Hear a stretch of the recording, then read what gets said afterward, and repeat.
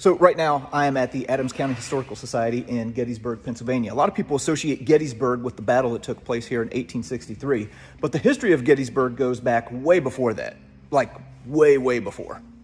What we are looking at right here are obviously some arrowheads and tools and spear points and pottery from some of the Native Americans who would have occupied the area around Adams County and Gettysburg uh, many, many years ago.